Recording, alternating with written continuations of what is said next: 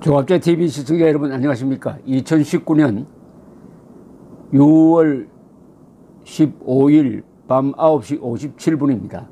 제가 지금 여행 중에 있습니다. 오스트리아 베르겐츠라는 작은 도시에서의 시간입니다. 그러나 서울은 지금이 2019년 6월 16일 일요일 어, 새벽 5시가 되겠습니다.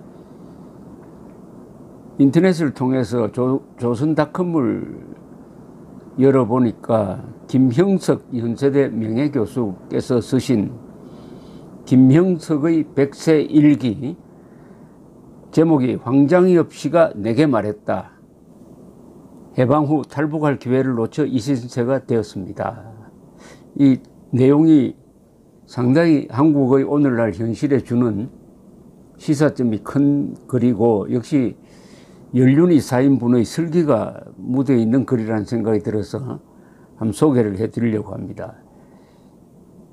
이분은 김형석 교수는 1920년생이시니까 한국 나이로는 100세입니다. 유명한 철학자시죠. 이분이 쓴 어, 좋은 수필을 읽고 소년 청년기를 보낸 분들이 지금 벌써 70대 80대가 되었습니다. 이 김명석 교수의 장남이 벌써 73세의 대학 교수라고 합니다. 우리 김명숙 교수는 연세가 드시면서도 아주 글도 쓰시고 강연도 쓰시고 하면서 이 노령화 사회에 들어가 들어서 있는 한국에서 어떻게 보면 삶의 한 지표를 어, 보여주시는 분이라고 생각을 합니다. 오늘 쓴 내용의 요지는 이렇습니다. 어, 미국이 저렇게 발전한 이유가 있다. 그것은 2차 세계대전 이후에 또는 전에 유럽에서 유명한 사람들, 지식인, 사상가, 기술자 이런 사람들이 미국으로 건너와서 미국을 발전시켰다. 미국 사람들만으로는 저렇게 발전하지 않았다. 이렇게 지적을 하면서 대한민국이 발전한 것도 북한에서 내려온 사람들, 해방 직후부터 내려온 사람들, 그리고 전쟁 중에 내려온 사람들의 역할이 컸다. 그런데 황장엽 선생은 1997년에 일대 결단을 하고 가족을 버리고 한국에 왔습니다. 그런데 황장엽 선생이 만나니까 김영석 선생한테 그렇게 고백을 하더라는 겁니다. 고백을. 선택이 너무 늦었다는 후회를 하더라는 이야기입니다. 여기서 김영석 교수는 6.25 전에 김일성 세상이 되면서 북한에서는 김일성에 충성하지 않으면 살기 어려웠다는 겁니다. 그래도 일제시대에는 정치와 무관한 삶에서는 자유가 있었는데 정치적 탄압은 있었는데 일반인들의 사적 생활에는 그렇게 개입을 하지 않았는데 김일성이가 들어와서 전체주의 독재를 하니까 이것은 양심의 자유도 없고 종교의 자유도 없고 도저히 살, 맛이, 살 곳이 아니더라 해서 월남을 선택한 분인데 김영석 선생이 이렇게 강조를 합니다. 자신과 같은 월남한 사람들을 대한민국이 받아준 것이 얼마나 고마운지 모르겠다. 그리고 그때 월남한 사람 중에는 백선엽 장군과 같은 분도 계시고 백선엽 장군은 김형석 선생님과 동갑입니다. 1920년생. 그리고 주월 사령관을 했던 최명신, 백선엽, 최명신 둘 다 독실한 기독교 신도입니다. 이분들이 월남을 했는데 6.25 때는 다 두 분이 한국군의 지휘관으로서 공산군을 막아내는 역할을 했습니다. 김일성이가 몰아, 남쪽으로 몰아낸 사람들이 공산주의를 때려 부수고 공산주의를 막는데 앞장선 겁니다. 이게 얼마나 아이러니입니까? 특히 공산주의를 체험하고 도저히 이것은 인간이 살 곳이 못 된다 하고 내려온 청년들이 남한에서 조직한 게 서북 청년단이었습니다. 서북 청년단. 평안도 사람들 중심으로 청년들 중심으로 또 학력이 높았습니다. 북한 지역의 지주나 엘리트들이 남쪽으로 내려왔습니다. 이것은 나라를 경영할 때 지도자가 절대 피해야 할 부분입니다. 기술자나 엘리트, 전문가들은 잡아두어야 합니다. 그 사람들이 인재 아닙니까? 나라를 발전시키려면 이 자원이 문제가 아니라 이런 인적 자원이 있어야 되는데 이런 거 가리지 않고 다 몰아내버리니까 남쪽으로 북한에 살던 똑똑한 사람들이 남쪽으로 왔다. 기독교 신도들도 남쪽에 왔다. 이렇게 해서 한국의 방공 기독교의 보루를 만들었다. 영락교회 같은 데가 좋은 예입니다만은. 그리고 김영석 선생은 이 수필에서 이런 이야기를 붙였습니다. 내 친구 안병욱 교수와 하던 이야기가 있다. 만일 그 당시에 대한민국이 우리를 따뜻하게 받아들이지 않았다면 지금쯤 우리는 넓은 세계 어디에선가 떠돌이 생활을 하고, 하고 있었겠죠. 있겠죠. 조국을 빼앗긴 유랑민으로서 돌이켜보면 대한민국이 베풀어준 빚을 다 갚지 못하고 갈 것 같아요. 이렇게 이야기했던 겁니다. 월남한 사람들을 대한민국이 넉넉히 받아준 이유는 뭡니까? 차별을 할 수도 있었는데 왜 차별을 안 했습니까? 바로 이승만 대통령이 세운 이 나라가 자유민주주의, 시장경제를 채용한 나라이므로 사람 차별을 못하게 돼 있었습니다. 북한 사람이라고 차별하지 않고 기독교, 뭐 불교 따지지 않고 모든 사람을 국민으로서 평등하게 대우하는 그것이 바로 월남한 사람들에게 혜택이 되어 가지고 국제시장이라든지 이런 데서 돈을 많이 벌, 번 사람들이 북한 사람들이고 또 방공전선에서 사온 사람들이 북한 사람들이고 한국의 기독교를 이 정도로 세계적 선교 국가로 만든 사람들이 북한 사람들이었습니다. 그러니까 김일성은 자기가 쫓아낸 월남 사람들, 월남민들 해서 망했다고 하면은 뭐 과장이 될지 모르겠습니다만은 결국 대한민국을 삼키지 못했다. 이렇게 볼 수도 있습니다. 자, 그런데 문재인 대통령의 아버지도 이 김영석 선생과 비슷한 월남자입니다. 즉 1950년 12월 흥남에서 미군 함정을 타고 남한으로 왔습니다. 미군 함정을 타고 남한에서 온 월남민 가족의 가족 출신이 바로 문재인 대통령입니다. 그런데 문재인 대통령의 말이나 행동에서는 월남 가족을 받아준 대한민국에 대해서 감사하는 마음이 엿보이지 않습니다. 참 이상합니다. 안병욱 선생이나 김형석 선생은 이렇게 감사한 마음을 갖고 있는데 왜 문재인 대통령은 월남 가족이면서도 대한민국에 고마워하는 마음이 없을까? 그러니까 자연히 요사이 문재인 대통령에 대한 사상, 사상적 비판이 거세어지고 있습니다. 이건 너무나 당연합니다. 대한민국은 북한과 이념 전쟁을 하고 있으므로 반드시 대통령의 사상을 자세하게 알아야 합니다. 여기에는 대통령뿐만 아니라 그 가족의 사상도 다 알아야 합니다. 여기서 실수가 있으면 즉 대한민국에 반감을 품은 사람이 대통령이 되었다든지 북한의 지령을 받는 자가 대통령이 되었다든지 공산주의 신념을 가진 자가 대통령이 되었다든지 하면 대한민국은 망하게 되어 있는 그런 관계니까 문재인 대통령의 사상적 문제에 대해서는 조그만치 뭐 성역도 없이 철저하게 검증되고 그 가족 전체에 대한 검증이 있어야 합니다. 그것은 법률로서 그렇게 허용되고 있습니다. 공적 직위에 있는 사람의 사상의 문제에 대해서는 철저하게 토론되어야 한다. 그리고 공적 위치가 높으면 높을수록 더욱더 광범위한 언론 자유를 만끽하면서 대통령의 사상 문제를 재단하고 논하고 분석해야 한다. 이런 판례가 있습니다. 대법원 판례가 있습니다. 이용우 대법관의 니 주심일 때 한 유명한 판례가 있습니다.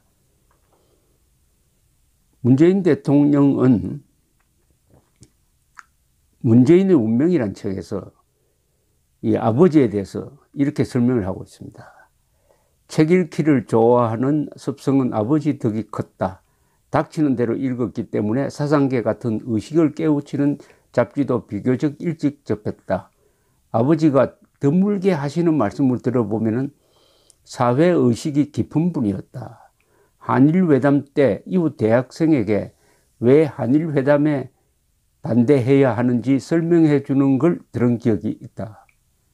우리나라는 농촌을 살리는 중농주의적 성장을 추구해야 하는데 박정희 정권이 거꾸로 저고가로 농촌을 죽이는 정책을 하고 있다고 말씀하신 게 어린 내게 강하게 와닿았다.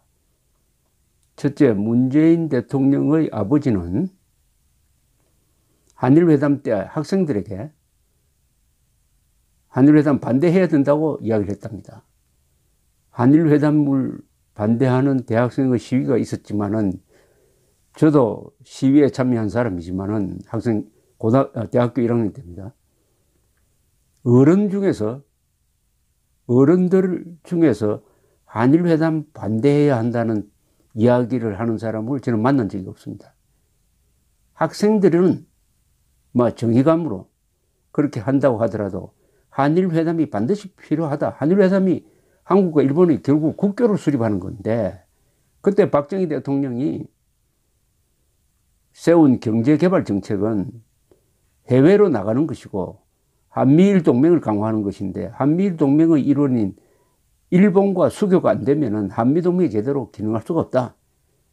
미국의 권유도 있었지만은 박정희 대통령의 생각이 그리하였습니다. 그리고 당, 당시에는 월남 전쟁이 한참 때였고 박정희 대통령은 월남의 파병을 결심하고 있었습니다. 월남에 파병하면은 더욱더 한미동맹이 굳건해야 이계 사단이 빠진 한국을 지킬 수 있을 것 아닙니까? 그런 측면에서도 안보적 측면에서도 한일 국교 정상화가 필요했습니다.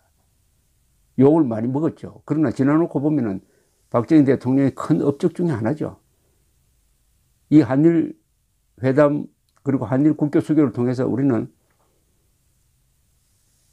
그 당시로는 막대한 청구권 자금을 받았고 더구나 기술을 같이 받았고 포항제철 같은 회사를 바로 청구권 자금으로 지었습니다. 그런데 문재인 대통령의 아버지는 학생들에게 한일회담을 반대해야 된다고 이야기했답니다. 참 특이한 아버지라는 생각이 듭니다. 특이한. 그리고 중농주의적 적성장을 추구해야 하는데 박정희 정권이 저고가 정책으로 농촌을 죽인다? 이건 완전히 사실과 다른 어른이면서도 당시에 어른이면서도 박정희의 경제정책을 이렇게 왜곡해서 문재인 대통령도 아마 그런 교육을 받았을 것 같은데 설명할 수 있느냐 놀랄 정도입니다. 박정희 대통령이 중농주의적 성장, 중농주의적 정책을 쓰지 않았습니까? 중농주의가 뭡니까? 농촌을 중요시하는 거죠. 박정희 대통령은 골고루 발전시킨 사람입니다. 도시도 발전시키고 농촌도 같이 발전시켰어요. 농촌을 희생시켜서 도시를 발전시킨 게 아닙니다.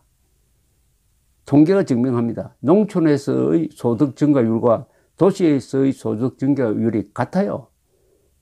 그리고 1970년대에 새마을 운동, 새마을 운동은 중농 정책 아니, 중농 정책 아니겠습니까? 그리고 세계적 성공 사례 아닙니까?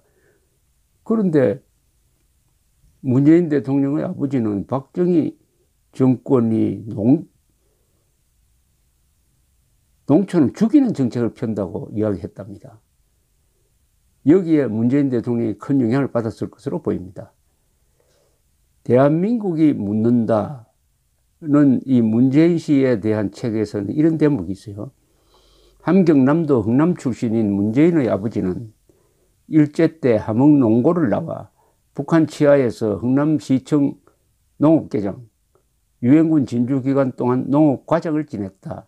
그는 농업개장 시절 공산당 입당을 강요받으며 시달렸던 경험 때문에 다시는 공무 생활을 않겠다고 결심했고 흥남 철수로 한국에 내려와 실패한 아주 무기력한 삶을 살 수밖에 없었다. 그러면은 왜, 왜 남한에 왔느냐? 자유를 찾아서 왔느냐? 아니면 다른 이유가 있느냐에 대해서는 문재인 씨의 이야기를 한번 들어보겠습니다. 운명에서 희망으로라는 책에서 나오는 이야기입니다. 피난민들이 갖고 있는 북한의 생각은 조금 다릅니다. 지금 문재인 씨가 이렇게 이야기하고 있습니다. 공산체제를 싫어하는 것은 일반적인데 전쟁 전에 내려온 사람들은 북한 체제가 너무 싫어서 탄압을 심하게 받거나 해서 내려온 사람들이어서 북한에 대한 정오심이 아주 강해요. 북한 출신이지만 북한을 도와주는 것에 대해 부정적 감정으로 생각하는 사람들이 많죠. 반대로 전쟁통에 내려온 사람들은 물론 북한 체제가 싫어서 내려오기는 했지만은 그래도 고향에 대한 그리움이 있어서 남북 회담을 하거나 이상가족 상봉이라도 하면은 하루 종일 텔레비전 앞에서 매달려 눈물을 흘립니다. 피남들이 다들 반복적인 것으로 보는 경우가 많은데 그렇지는 않습니다. 전쟁통에 내려온 피난민들이 훨씬 많기도 해요. 요즘은 전쟁통에 내려온 피난민들은 무조건적으로 북한을 반대하는 사람들이 아니다라는 것을 아주 강조하고 있습니다. 왜 이렇게 설명해야 됩니까? 그런데 반복적이 아니라는 게 자랑이 될 수가 있습니까? 북한에 싫어서 남한으로 내려온 사람들은 당연히 북한 정권에 반대해야죠. 반대하는데 앞장서야죠. 그런데 반복적인 게 무슨 나쁜 행동이나 되는 것처럼 전쟁통에 내려온 사람들은 반복적이지 않다라는 설명을 하고 있는 것이 아무래도 의색을 합니다. 아니, 문재인 대통령이 자유를 찾아서 내려온 사람 아닙니까? 그 다음에 이 문재인 대통령의 설명을 이해하려면은 1950년 12월의 상황을 이해를 해야 됩니다. 그때 중공군이 11월부터 본격적으로 대공세를 펴니까 유엔군은 후퇴를 합니다. 후퇴를 할 때 메가드가 북한에 원자폭탄을 떨어뜨린다는 소문이 났어요. 그래서 북한 사람들이 중에는 자유를 찾아서가 아니라 우선 생명을 구하기 위해서 북한을 떠나자. 그래서 내려온 사람들이 많다. 이런 것은 사실입니다. 사실인데, 이 문재인 대통령이 2017년 유엔 총회에서 한 연설에서도 이렇게 나옵니다. 6.25 남침이라고 그때 하지 않았어요. 6.25 내전이라고 그랬습니다. 그러면서 아버지의 설명, 아버지에 대해서 잠시 피해 있으면 전쟁이 끝날 줄 알고 남쪽으로 내려왔다. 이런 설명을 했습니다. 즉, 자유를 찾아서 내려온 것이 아니고 일단 살고 보자 하는 차원에서 내려왔다. 거기서도 이상하게 문재인 대통령은 부친이 자유를 찾아서 내려왔고 미군의 도움을 받았고 유엔군이 파병되어서 대한민국이 살아났다는 이야기를 하지 않습니다. 참 어색하다는 생각이 들 정도였습니다. 지금까지 설명드린 것 한번 연결시켜서 생각해 보시기 바랍니다. 대학, 그 다음에 문재인의 운명이란 책에 이런 대목이 나옵니다.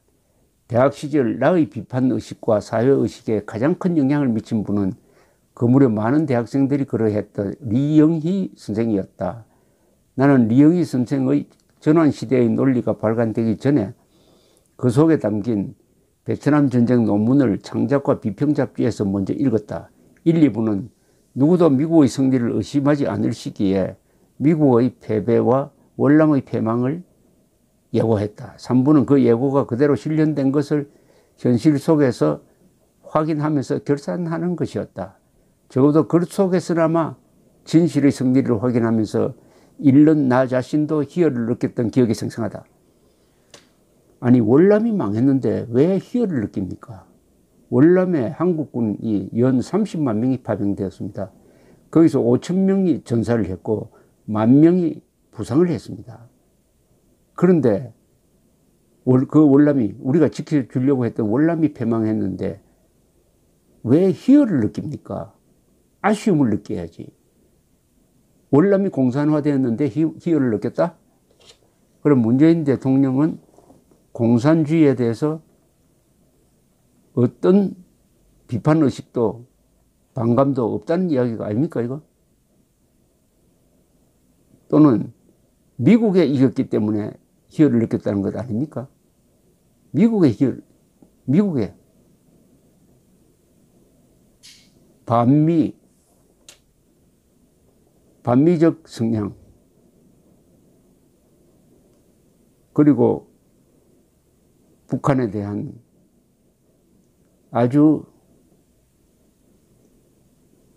문제점 있는 생각, 이게 합쳐져 있다는 생각이 듭니다. 합쳐져 있다. 합쳐져 있다. 자, 그게 그러면 어떤 식으로 정리가 되느냐. 대한민국이 묻는다는 책에서 이게 아마 대, 대한, 대담집인 것 같은데요. 문재인 대통령의 말이 이렇게 소개되어 있습니다. 친일 세력이 해방되고 난 이후에도 여전히 떵떵거리고 독재 군부 세력과 안보를 빙자한 사이비 보수 세력은 민주화 이후에도 우리 사회를 계속 지배해 나가고 그때그때 화장만 바꾸는 겁니다. 친일에서 반공으로 또는 산업화 세력으로 지역주의를 이용한 보수라는 이름으로 이것이 정말로 위선적인 허위의 세력들이거든요. 이렇게 이야기합니다. 대한민국 주류 세력을 친일 세력, 독재 세력, 군부 세력, 안보 빙자한 사이비 보수 세력, 산업화 세력, 뭐 이런 식으로 폄하하고 있습니다. 아버지가 월남에 내려온 것을 대한민국이 품어주었는데도 이 대한민국에 대해서 이렇게 악담을 할 수가 있습니까? 이번에 스웨덴에 가서 스웨덴 국회의장과 만난 자리에서 문재인 대통령이 뭐라고 이야기했느냐? 우리는 미국식 모델로 경제 개발에 성공했지만은 그 때문에 양극화도 심해졌다. 이런 이야기를 했습니다. 이것은 말도 아닌 거짓말입니다. 한국은 미국식으로, 미국 모델로 성공한 게 아닙니다. 박정희의 경제개발 성공은 독창적이고 주체적이고 한국식으로 한 겁니다. 한국식으로. 미국의 합리주의 정신을 배우고 일본의 국가주의적 엘리트 의식을 참고로 하고 그리고 유교 문화에서 나오는 상하관계라든지 기율을 적극적으로 활용을 하고 그리고 무엇보다도 군대 경험을 가진 한국의 젊은이들을 잘 부려가지고 이런 근사한 나라를 만들었습니다. 한국적 모델입니다. 그래서 세계가 지금 제3세계가 개발도상국이 모델로 삼아야 될 경제 개발은 미국식도 아니고 유럽식도 아니고 바로 대한민국식이다 해서 열심히 배우고 있습니다. 그런데 우리가 미국식으로 발전했다고요? 우리가 미국식 경제 모델을 채용했다고요? 말도 아닌 이야기입니다. 어떻게 이런 사대주의적인 이야기를 할 수가 있습니까? 그래 놓고, 그래서 양극화가 심해졌다? 아니, 미국식 모델로 하지도 않았는데, 미국, 미국식 모델로 했다고 해놓고, 그래서 양극화가 심해졌다? 어떻게 이렇게 고마움을 모르는 대통령을 우리가 뽑았는지 참 통탄할 일입니다. 문재인 대통령도 문제지만은 문재인 대통령을 뽑은 사람, 지금도 굳게 지지하고 있는 사람들이 더 큰 문제라는 생각이 듭니다. 더 큰 문제입니다. 문재인 지지의 중요한 이유가 외교 잘한다. 그리고 남북 관계를 잘 관리한다로 되어 있습니다. 이게 맞는 이야기입니까? 어쨌든 서두에 김형석 교수님의 이야기를 소개해 드렸습니다. 북한 출신을 넉넉하게 받아준 대한민국에 고맙다. 그 빚을 졌다. 그래서 더 열심히 살아야 한다. 이런 생각을 하는 사람과 남쪽으로 내려온 문재인 아버지가 보여준 행태. 행태는 정말 대조적이라고 할 수가 있습니다. 감사합니다.